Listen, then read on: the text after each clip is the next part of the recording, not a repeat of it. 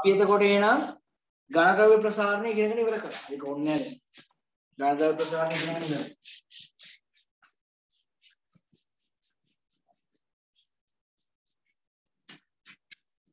ඝනවලට පස්සේ තියෙන ද්‍රවණය සුපුරුදු බලමු. ඒක ද්‍රවත් ප්‍රසාරණය වෙනවා. හරි. බලමු මොනවද මේ කතාව. දීලා තියෙනවනේ ලස්සන රූපයක්. ද්‍රව ප්‍රසාරණය 9.22 පාඨකල ජලය පාඨකල ජලය පුරවලා පරීක්ෂණ නලයකට බටයක් දාලා හිස් පෑන් බටයක් ගන්න පුළුවන් නම් හොඳයි මොකුත් පැල්ලන්නේ නැති ඒක උණු ජල භාජනයකින් හෝ ඇල් ජල භාජනයකින් කියලා ඒක රත් කරන්න කියලා කියනවා. එතෙන්දි පොඩ්ඩක් නිරීක්ෂණය කරන්න ඕනේ වැදගත් දෙයක් තියෙනවා පුතේ. ඕක විභාගයේදී අහන්න පුළුවන් තැන. හරි. මේක රත් කරනකොට මුලින්ම වෙන්නේ මුලින්ම වෙන්නේ අර බටේ තියෙන ජල මට්ටම තියෙනව නේද? අපිට හිතෙන්නේ රත් කරනකොට ප්‍රසාරණයට උඩ යනවා කියලා රත් ඉහළන පහළට බයින ඉස්සේ. පහළට බැහැලා ඊට පස්සේ ඉහළට යනවා. කාට හරි පුළුවන් ද පැහැදිලි කරන්න? ඇයි ඉස්සෙල්ලා පොඩ්ඩක් පොඩ්ඩක් පොඩ්ඩක් පහළට බැහැලා ඉහළ යන්න පටන් ගන්න. කො නෑනේ.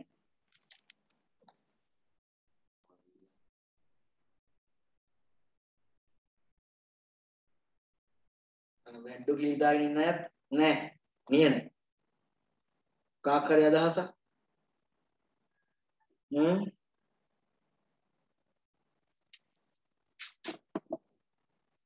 නැද්ද?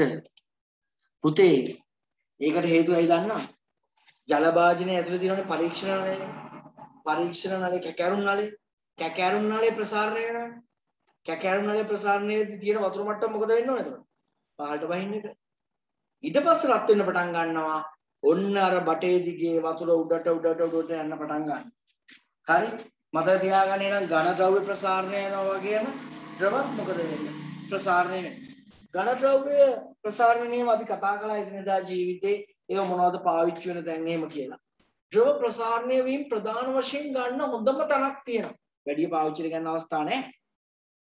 අන්න උෂ්ණත්ව මාන ඒ පාඩමේ මුලම කතා කළා එක්ක රසදිය වීදුරු උෂ්ණත්වමානය එක්ක මධ්‍යසාර වීදුරු උෂ්ණත්වමානය. ඒකෙදි අපි ඒකට තාපය සපයන ප්‍රමාණය අනුව කේශික නලය ඔස්සේ කේශික නලය ඔස්සේ රසදිය ඕ මධ්‍යසාර මොකද වෙන්න පටන් ගන්න? ටික ටික ඉහළ යන පටන් ගන්න. ටික ටික ඉහළ යන පටන් ගන්න. ඒ ඉහළ යන ප්‍රමාණය අනුව අපිට ගණනය කරන්න පුළුවන් උෂ්ණත්වය කොහොමද? ඉතින් ඒක අපි ගණනය කරන්නේ එතකොට මොන ප්‍රසාරණය ආධාරයෙන්? ද්‍රව ප්‍රසාරණය ආධාරයෙන්. හරි? අපි ඊළඟ කොටස ගැන කතා කරනකොට පුතේ වායු ප්‍රසාරණය හරි? වායු ප්‍රසාර. වායු වර්ග ප්‍රසාරණ වල බලන්න ලස්සන රූපයක් තියෙනවා. හැබැයි මම නම් ඒකේ රූප දෙකම අඳින්න කිව්වේ නෑ B විතරයි අඳින්න කිව්වේ. පළවෙනි එකේ හිස් බෝතලයට බැලුණයක් සවි කරලා අයිස් වල දාලා තියෙනවා. අයිස් වල දාලා අයිස් වල දැම්මම මොකද දන්නව බැලුම ඇකිලිලා යන්නේ. ඇයි ඒ? ඇතුලේ තියෙන වායු ප්‍රමාණය සංකෝචනය වෙනවා. B එකේ උණු ජලයේ දාලා තියෙන. ටිකක් වෙලා යනකොට පුතේ අර හිස් බැලුම පිම්බෙන්න පටන් ගන්නවා. බෝතලේ ඇතුලේ තියෙන වාතය එළියට එන උත්සාහ කරනවා. ඉඩ මදියාට ප්‍රසාරණය වෙනවා. එහෙනම් වායු වර්ග ප්‍රසාරණය වෙනවා. වායු ප්‍රසාරණය බලපෑම් හා භාවිත එදිනෙදා ජීවිතයේ පාවිච්චියට ගන්න අවස්ථාවක් රේසයන් දාන්න පුතේ නෝට් එක ලියලා තියෙන කට්ටිය. කරානතු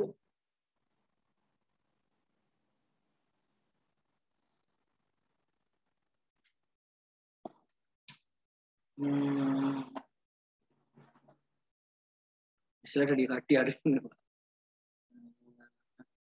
හරි. තර්ෂි මයිකේ ප්‍රශ්නේ හරිද?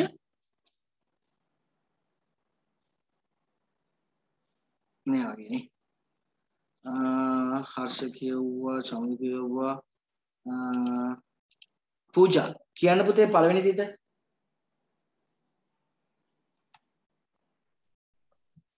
රතිඤ්ඤාවක් පිපිරීමේදී හඬක් ඇතිවන්නේ වායු ප්‍රසාරණය වීමෙනි. රතිඤ්ඤා දානවා ඇති නේද?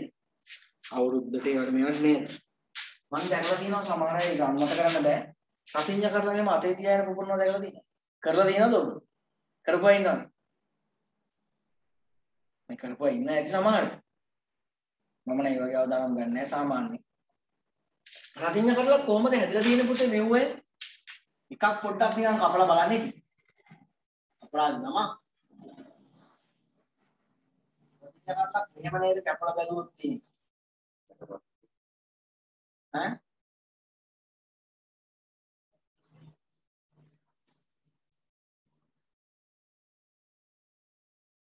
වෙඩි බේට් එක තියෙන මෙතන නේ.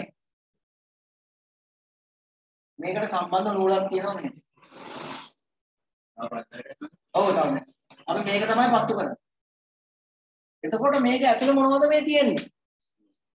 ඈ? වාතේ මේකේ තියෙන වාතය. මෙන්න මෙතන ඉන්නේ ඔයගොල්ලෝ අල්ලන්නේ.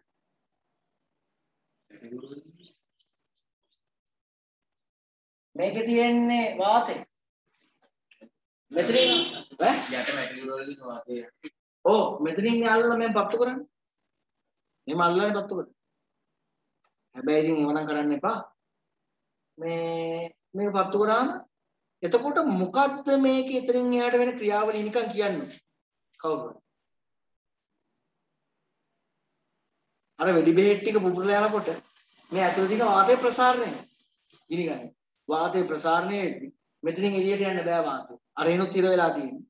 මේ කඩදාසි කෑලි තල්ලු කරගෙන කෑ ගහගෙන වාතය ටික එළියට එනවා. එතකොට දඩුම් ගාලා සද්දේ. තේරුණාද? මේ මෙතන මැටි කොටස තියෙනකොට හානියක් වෙන්නේ නැහැ කොටසට. මේ බලපෑමක් වෙන්නේ නැහැ. තේරුණාද? හරි. ඉතින් වායු ප්‍රසාර තේරුණා? හරි. රෝහින්දු ආ කියන්න පුතේ ඊළඟ තිත. දහවල් කාලයේදී පිම්බූ බැලුණු පුපුරා යන්නේ වායු ප්‍රසාරණය හේතුවෙන්. ඒක මම කලින් කිව්වා නේද? ඈ උත්සව ශාලාවල එහෙම තියෙන දැන් නේද උත්සව ශාලා නෑනේ පුතේ මේ දවස්වල වෙන්නේ නෑනේ. හැබැයි AC හෝල් එක මේක බලන්න බෑ ඉතින්. AC හෝල් එක කට්ටකින්ම අයින්න ඕනේ මේක කට්ටකින් අයින් එක මෙතනට අදාළ දෙයක් නෙමෙයි. තේරුණාද? අහස් කූරු අහස් කූරු යන්නේ නිව්ටන්ගේ තුන්වෙනි නියමයට අනුව. මෙන්න අහස් කූර ඵලයේ දෙනවා පහළට අහස් කූරු යනවා උඩ. තේරුණා?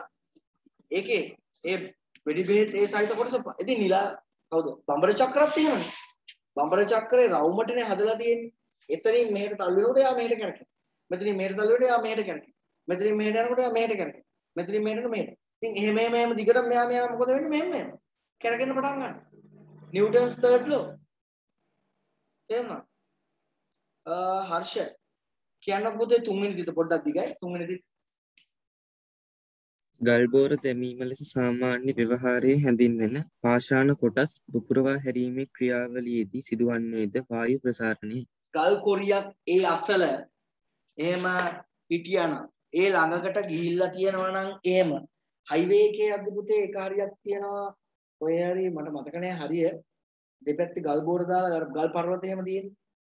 දැකලා තියෙනවා ඒකේ අර ගල් විදපු තැන් එහෙම දැකලා තියෙනවද මෙහෙම ඉරි ඉරි තියෙන ගල් බෝර දාන්නේ ඒ තැන් විදලා ඒවට වෙඩි බෙහෙත් දාලා ඒව ඔක්කොම කළා සේව නූල ඇදලා අතෙන්ට යනකම් ගෙනිහිල්ලා එහෙම කරා වගේ එතකොට ඒ පුපුරනකොට ගල් කොටස් සම්පූර්ණයෙන් ගැලවිලා නැහැ. වතුරු ලොකු විශාල කොටස්. හැබැයි අනතුරුත් වෙලා තියෙනවා. අහලා තියෙනවද මේ ගල් කොරේ වල යාම අනතුරු වෙලා තියෙනවද? අහලා නැහැ. ඔය මේ දොලේ කඩේ පැත්තේ යන ගල් බෝර දාන තැනක් තිබ්බ තාම ඒක ක්‍රියාත්මකයිද දන්නේ නැහැ. මොකද අපේ පැත්තේ ඉන්නේ. තාම ඒක එහෙමම ක්‍රියාත්මක වෙනවද? තියෙනවනේ සර්. ගල් බෝර දානවද ඒ කියන්නේ තාම? ඉස්සර නම් හොඳ ගල් බෝර දාන අතුරු ගිරිය පැත්තේම තියෙනවා පුතේ. දැන් ලංකාවේ දැන් මේ කියන්නේ කළු ගල් කියන කියන ආග්නේය පාෂාණනේ. ආග්නේය පාෂාණක් දැන් නම් ශීඝ්‍රයෙන් ලංකාවේ හිඟ වෙමින් යන්නේ. තේරුණාද? ඒක හරි. පුතේ එතකොට එහෙනම් ඔළුවට දාගන්න යම් ද්‍රව්‍යයකට තාපය සැපෙව්වාම එයාගේ තියෙන ප්‍රමාණයෙන් වැඩි වෙන එකට කියන්නේ ප්‍රසාර. මේ ඒ වගේම තමයි යම් ද්‍රව්‍යකින් තාපය ඉවත් වෙනකොට අපේ ගෙදරට ඇහෙනවා ගල් ආ වෙන්නේ තියෙන. මේ ගල් බෝර දාන හරියක ළඟ ළඟ ළඟම ගෙවල් තියෙනවද ටිකක් ඈතර වෙන්නද ගෙවල් තියෙන්නේ පුතේ? ළඟ ළඟ ගෙවල් තියෙන්න පුළුවන් ගෙවල් වලට හානි වෙනවා. කම්පනය පුංචි කෑලි විසිලා යනවා. ඒ කෑලි විසිලා යනකොට ගම්මිතාවයක් සහිතවනේ ඉන්නේ. පොඩි ගල් කැටයක් වුණත් ඒන ප්‍රවේගයෙන් වහලුට වැටුනොත් උළු ෂීට් වගේ දේවල් මොනවා වෙලා යන්න පුළුවන්. කැඩෙන්න පුළුවන්. හරි ඔය ගල් කොරියාවට එහෙම ලොකු සෝෂල් ඉම්පැක්ට්ස් තියෙනවනේ මිනිස්සුත් එක්ක රණ්ඩු වෙනවා කොරියයි තියයි එහෙම තියෙනවා. හරි? පුතේ වතුර ඩෙන්ගු ඒ වතුර ඉඳන කතාවක් තියෙන. ඒක ඊට පස්සේ ගල් කොරියේ සමහර සමහර තැන්වල ජලයේ ක්‍රැෂ් වීම ඩෙන්ගු උවදුරට බලපානවා. මේ ඒ ගල් කොරියාශතව ජලයේ හිඳීමේ ක්‍රියාවලියක් තියෙන පුළුවන් පුතේ ආග්නේය පාෂාණවල අභ්‍යන්තර තීරුවල ජලයේ ක්‍රැෂ් වෙච්ච අවස්ථා තියෙනවා. ඒක භූගත ජලයත් එක්ක සම්බන්ධයි. ඇත්තක් තියෙන. අර අහලා තියෙනව නේද අර බුදුහාමුදුරුවෝ නේද ඒක අර අර වතුර හොයන්න ගිහිල්ලා හාරලා හාරලා බලද්දි එක තැනකින් ගලක් මතු වුණා. ඒ ගල පැලුවාම වතුර ආවා කියන එක කාලේ දෙන. ඇත්තටම එහෙම පාෂාණ අභ්‍යන්තරයේ ජලය නැතිච්ච අවස්ථා තියෙනවා. ඒක මම දන්නේ නැහැ ඇත්තද කියන්නේ. පාෂාණ අභ්‍යන්තරයේ ජලය නැතිච්ච අවස්ථා තියෙනවා. හරි. ආ ඊට පස්සේ එහෙනම් මතක තියාගන්න තාපය සැපෙව්වාම යමක පරිමාව වැඩි වෙනවා නම් ඒකට කියනවා තාපජ ප්‍රසාර. ඒ වගේම තමයි යමක් තාපය ඉවත් වෙලා යා ප්‍රමාණය අඩු වෙනවා නම් ඒක පුතේ මොකක්ද සංකෝච. එතකොට ඝන ද්‍රව්‍ය ප්‍රසාරණය වෙනවා ද්‍රව ප්‍රසාරණය වෙනවා වායු ප්‍රසාරණය. පාඩමේ ඊළඟ කොටස තමයි පුතේ ඇත්තටම වැදගත්ම කොටසක් තාප සංක්‍රාමණය. Heat transfer කියන transfer. එක තැනකින් ඉඳන් තව තැනකට. තාපය එක තැනකින් ඉඳන් තවත් තැනකට ගමන් කිරීමේ ක්‍රියාවලිය තමයි කියන්නේ පුතේ heat transfer. හරි? තාපයක් තියෙන ශක්තියක් ආකාරයට එක තැනකින් ඉඳන් තවත් තැනකට යනවා. විද්‍යුතය යනවා වගේ ධ්වනිය ගලාගෙන යනවා වගේ. තාපයක් ගලාගෙන යනවා. බලන්න. මම දීලා තියෙනවා. 9.24 9.25යි අලවන්න. ওই 9.24 නම් අත්දැකීමක්ම වෙලා ඇති. තේ කෝපි ඒ වගේ දේවල් තියෙන කෝප් එකට ලෝහ හැන්දක් දාලා තිබ්බොත් ටිකක් වෙලා. අපි හැන්ද අල්ලන්න ගියාම අතට මොකද දැනෙන්නේ? ප්‍රබල රස්නයක් දැනෙනවා. තේරුණාද? එතකොට පුතේ මොකද වෙන්නේ? එහෙනම් ඒ තේ කෝප්පේ තිබිච්ච තාපය උරාගෙන තියනවා කවුද? හැන්ද. ලබාගෙන තියනවා කවුද? හැන්ද. තේ කෝප්පේ දැන් හැන්දට තාපය මොකද වෙලා තියෙන්නේ? ගිහිල්ලා තියෙනවා. ගමන් කරලා තියෙනවා. අන්න ඒකට තමයි කියන්නේ. මත තාප සංක්‍රමණය කියන්නේ. 9.25 රූපෙත් ඊට ළඟ දෙයක් නෙදීන්නේ. ආ බාල දක්ෂයෝ මේව කරපුවා නම් ඇති. එහෙම නැත්තම් ෆැමිලි ට්‍රිප් ගිහිල්ලා ඒ වගේ තැන්වල ගිනි මැල එහෙම ගහලා තියනවාද? හරි. පරිසරයට හානියක් වෙන්නේ නැතුව කරනවා නම් හරි විනෝදාස්වාද ජනක ක්‍රියාවලියක්. පුතේ එතකොට මේ ගිනිමැලේට අපි එහෙන් ඉන්නකොටත් අපිට තාපය එනවා. ගිනි ගොඩට ගිහලා පයින්න ඕනේ නැහැ තාපයක. හරි ජොලි නේද ආස්වාද ජනකයි නේද කියලා ගිනි ගොඩට පයින්න ඕනේ නැහැ. අපි ඈතින් වාඩි වෙලා ඉන්නකොටත් අපිට තාපය ඇඟට එනවා. එහෙනම් ගිනි ගොඩේ ඉඳන් ඇඟට තාපය. ගිනි ගොඩේ ඉඳන් ඇඟට තාපය. නේ? ඒ කියන්නේ කොහොම හරි යා වාතය හරහා තාපය කියන ශක්තිය ගමන් කරලා තියෙනවා. හරි. පුතේ ලියලා තියෙනවා. චමුදී පුතේ අර ඒක මම කොටු කරලා තියෙන නිර්වචනයක් තියෙනවනේ. අන්න ඒක පොඩ්ඩක් කියවන්න. එක් ස්ථානයක සිට තවත් ස්ථානයකට තාපය ගමන් කිරීම තාප සංක්‍රමණය ලෙස හැඳින්වේ. එක තැනක තියෙන තාපය තවත් තැනකට ගමන් කිරීමේ ක්‍රියාවලියට කියනවා පුතේ මොකද්ද? තාප සංක්‍රමණය. එක තැනක තියෙන තාපය තවත් තැනකට ගමන් කිරීමේ ක්‍රියාවලියට කියනවා තාප සංක්‍රමණය. තාප සංක්‍රමණය වෙන්න පුළුවන් පුතේ ප්‍රධාන ක්‍රම තුනයි තියෙනවා. සන්නායනය, සංවහනය, විකිරණය. conduction, convection, radiation. හරි? ඊළඟ ඡේදෙත් අපිට පොඩ්ඩක් ඕනේ. පූජා ඊළඟ ඡේද කියවන්න වැඩි උෂ්ණත්වයක සිට ටිකක් දිගයි ඡේදෙ. සර් මම ඒක පැහැදිලිව ලියාගෙන නැහැ. ලියාගෙන නැහැ. හරි කමන්නේ. තවශිකේ පොඩි ගැටලුවක් තියෙනවා. අදිත ඒක ලියලා තියෙන පුතේ.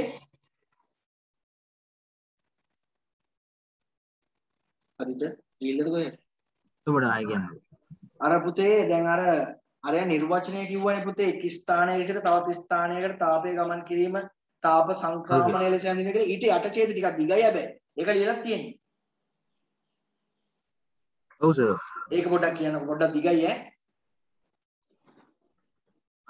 සර් වැඩි උෂ්ණත්වයක ඔව් සිට ඔව් අන්න හරි. වැඩි උෂ්ණත්වයක සිට අඩු උෂ්ණත්වයක් දක්වා තාප සංක්‍රමණය සිදුවේ. වස්තුවක් තැනි ඇති අංශු වල හම්බු ලෙස හටගන්නා චාලක ශක්තියම වස්තු සතු තාප ශක්තියයි. එනම් තාප සංක්‍රමණය යනු වැඩි චාලක ශක්තියක් සහිත අංශු සමූහයක සිට අඩු චාලක ශක්තියක් සහිත අංශු සමූහයක් දක්වා ශක්තිය ගලා යාමේ ක්‍රියාවයි. අන්න හොඳ දෙයක් ඈ. පොයින්ට් එකක් අල්ලගන්න. මොකක් හරි තැනක උෂ්ණත්වය සෙල්සියස් අංශක 50යි. තව තැනක උෂ්ණත්වය සෙල්සියස් අංශක 30යි. මෙයාගේ මේ 50 වෙන්න හේතුව මොකද්ද? මෙතන තියෙන අංශු නටනවා වැඩි. දැඟලිල්ල වැඩි. මෙයාගේ චාලක ශක්තිය වැඩි. E K වැඩි. මෙයාගේ E K මොකයිද පුතු? අඩුයි. ඉතින් එතකොට එහෙනම් මෙයාගේ වැඩි චාලක ශක්තිය මෙයා වෙතට ගෙනියනවා. හැබැයි අරයාගේ චාලක ශක්තිය උඩ අඩු වෙනවා. ගෙනිහිල්ල එක මට්ටමකදී බැලන්ස් වෙනවා කියලා අපි ඉගෙන ගත්තනේ ගතික සමතුලිතතාවය නේද? මෙතෙන්ට එනවා. ඒ ශක්තිය ගලාගෙන එම එන්නේ තාපය විදියට. අන්න එම තාපය එක තැනක ඉඳන් තවත් තැනකට යනවනේ. අන්න ඒකට තමයි කියන්නේ මොකද්ද තාප සංක්‍රාමණය කියලා. තාප සංක්‍රාමණය කියලා කියන්නේ. හරි. එතකොට තාපය වැඩි තැනක ඉඳන් අඩු තැනකට චාලක ශක්තිය තමයි ගලාගෙන යාමක් වෙන්නේ. අපතේ. අවයා කියන්නේ මේ පීඩන තත්ත්වය. ඔව් ඉතින් ඒකෙදිත් ඉතින් ඒකට උෂ්ණත්වයෙන් බලපාන. යම් තැනක උෂ්ණත්වය අඩු වෙලා එතන මේ උෂ්ණත්වය වැඩි වෙලා එතකොට එතන වාතය ඉහළට ගියාම එතන අඩු පීඩන තත්ත්වයක් හටගන්නවා. ඒක මේකම නෙමෙයි. එතකොට අර වටේ තියෙන තැන් වලින් වාතය මෙතන ගලාගෙන එන්න පටන් ගන්නවා. ඒ ගලාගෙන එන එක ඍජු වෙන්නේ නැහැ. පෘථිවිය භ්‍රමණයත් එක්ක ටිකක් අවුමට වගේ සුළුසුලන් තත්ත්වයක් ඇති වෙන්නේ එහෙම. පෘථිවිය භ්‍රමණය වෙනවනේ. මම කලින් කියලාද මන්නේ. නේ දැන් ආපු ඉඳ කියන්නේ. දැන් අපි හිතමු කොහේ හරි භූමි කලාපෙ මෙන්න මෙතෙන්ට කියලා මෙහෙම ඉන්නේ මෙහෙම ඉන්නේ. කොහොම එන්නේ? ඒක එන්නේ පුතේ පෘථිවිය කැරකෙන හින්දා. මෙහෙම එන්නේ.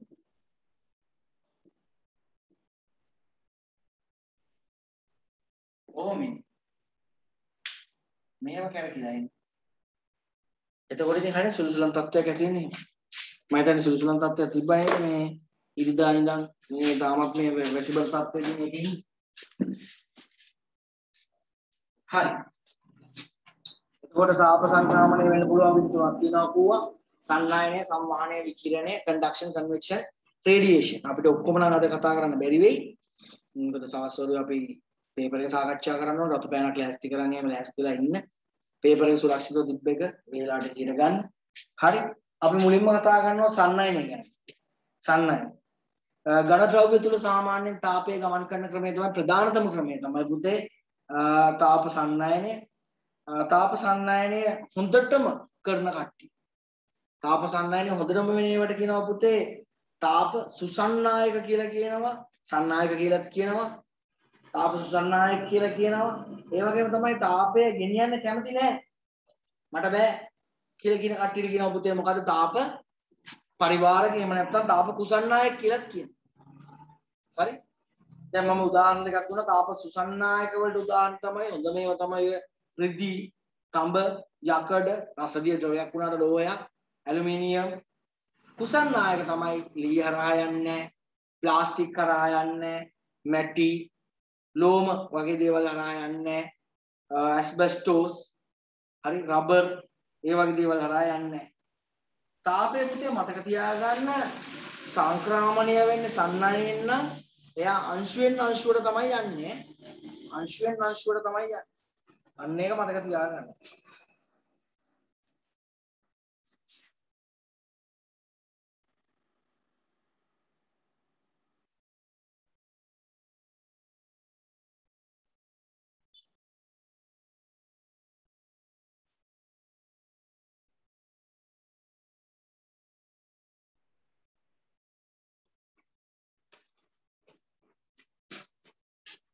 අපි හිතමුකෝ මේ ලෝහ දණ්ඩයේ අංශු තියෙන්නේ කියලා.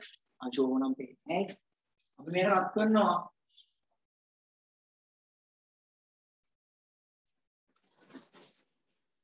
එදී රත් කරා. හරි? රත් කරනකොට මෙයාගේ තියෙන චාලක ශක්තිය මේගොල්ලන්ට එන්නේ.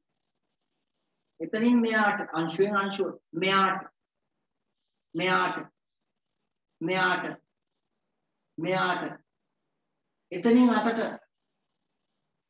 දැනෙලා ඇති නේ ඒකනේ. ලෝදන්න මේ මල්පුකමටත් වෙන්නේ ඕක මතකද පොඩි පන්ති වල තිබ්බා සරලව අංශුවෙන් අංශුවට ගමන් කරනවා කියලා පෙන්වන්න ක්‍රමයක්. මතක නැද්ද? මතක නැද්ද? මෙහෙම ලෝහ දණ්ඩක් ගන්නවා. හරි. ආ අන්න හරි. මතක් වුණානේ මොකද්ද? ඉටිකිරි දානවා නේද? මෙතනින් අල්ලන් ඉන්නවා.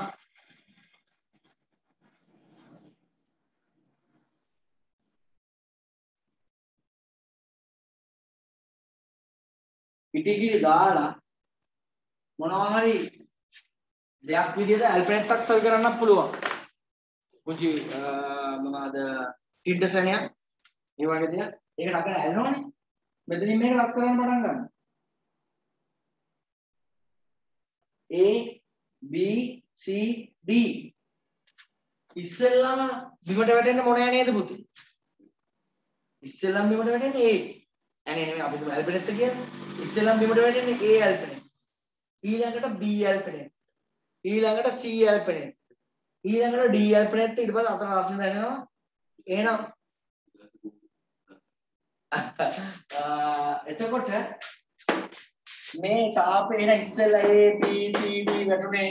තාපය පිළිවෙලට ගමන් කරන්නේ පිළිවෙලට ගමන් කරන්නේ.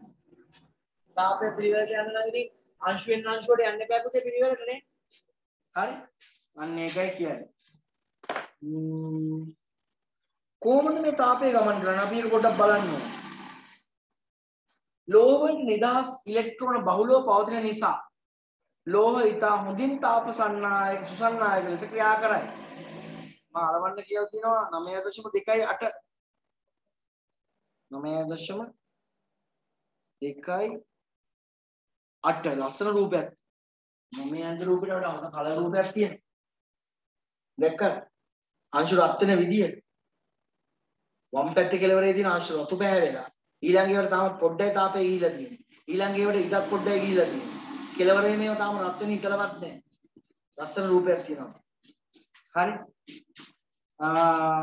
දැන් මේ ජලය මේ වැඩේ ඇයි කරන්න බැරි? ඇයි ජලයට මේක කරන්න බැරි? දැන් මේ බලන්නකො මේ අත පිච්චෙන වැඩනේ යනවා. අත පිච්චලක් ඇති නේද? මේ මත පිච්චෙන හොඳ ඇඳක් මොකක් කරේ මොනොත් එන්න. ඇයි ජලය මේක කරන්න බැරි?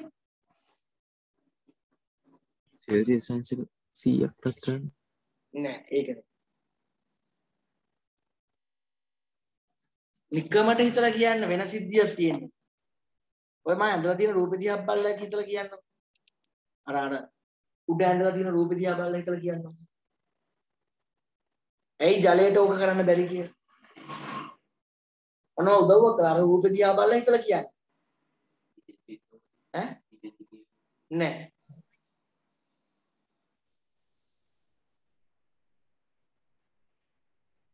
පුතේ ජලයේ අංශුවම තදින් ඇසිරලා නැහැ. ජලයේ අංශු අණු එකිනෙකට සම්බන්ධ නැහැ. ඔව් ඒක තමයි උත්තරේ. තේරුණාද? ජලාංශු එකිනෙකට සම්බන්ධ වෙලා නැහැ නේද? ඒගොල්ලෝ මොනවා වෙලා තියෙන්නේ? ඈත් වෙලා තියෙන්නේ. ඈත් වෙලා තියෙන්නේ. ජලය කියන්නේ තාප සුසන්නායකයක් නෙමෙයි ඇත්තට. මොකද්ද හොඳ තාප? උසන්නායක තාප පරිවාරකයක්. තාපේ ගෙනියන්න කැමති නෑ අය. ඔය මුට්ටියකට දාලා කේතලයකට දාලා බලහත්කාරයෙන් සංවහනය කියන සන්න මේ සන්නයනේ සංවහණයෙන් රත් කරන හින්දා තමයි ඔමවත් වෙන්නේ. නැත්තම් ඉතින් ඒ රත් කරන්නත් හම්බෙන්නේ. තේරුණාද? සන්නයනේ නම් යාගේ හිතන්නවත් බෑ. අංශයෙන් අංශයට අපේ යන්නේ හරි? ඒක හරි. ඊට පස්සේ ආ මේ රොබින් කුරුල්ලා ගැනත් පොඩ්ඩක් කියලා දිනවා පුතේ. බලන්නකො රොබින් කුරුල්ලා ඉන්නවා 22 පිටුවේ 9.26 හරි? කවුද 9.26 විස්තරේ කියන්නේ? අදිත කියෙව්වා. අකිඳු. 9.2.6 විස්තරය කියන්නකො පුතේ. මේ රොබින් කුරුල්ලා කියලා මන් දීපු නෝට් එකේ. රොබින් කුරුල්ලා දේහ උෂ්ණත්වය නියත වාර්තා ගැනීමට පිහාටු පුම්බාගෙන සිටිති. එවිට පිහාටු හා ශරීරය අතර වාත ස්තරයක් තැන්පත් වීම නිසා ශීත කාලයේදී පවා දේහ උෂ්ණත්වය රැක ගැනීමට හැකි වී ඇත. වාතය යනු ඉතා දුර්වල තාප සන්නයකි. ගන්නකො රොබින් කුරුල්ලා මෙයාගේම ළඟින් එක්කෙනෙක් ලංකාවට එහෙම එනවා එක ශීත කාලේ. දන්නේ දැන් නම් එනවා අඩුයි ඉතින්. දැන් ලංකාවට පර්යටක පක්ෂීන් එන්නේ නැහැ වැඩි. දන්නවද කවුද කියලා? ලස්සන ඔය වගේම මහත බෝල කුරුල්ලෙක්. කවුරු? කහ කුරුල්ල දිගයි. දන්නේ නැහැ කවුරුවත්?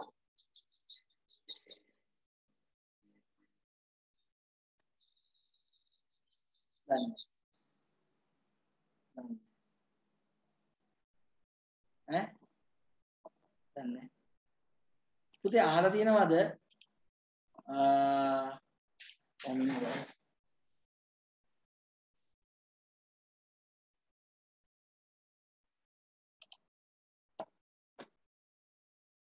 මෙයාව දැකලා තියෙනවද බලන්න ඕගොල්ලෝ වත්තට ඇවිල්ලා ඉන්නේ. දැන් නම් එන්න හැටි තරම් කියලා මම නම් හිතන්නේ ලංකාවෙත් දැන් මෙයා නෑ එන්නේ විතර ලංකාව දැන් හොඳට හොඳට තියෙනවා නෑ බලමු මේකෙන් දාලා මේ කාටද කියන්න පුළුවන්ද මෙයා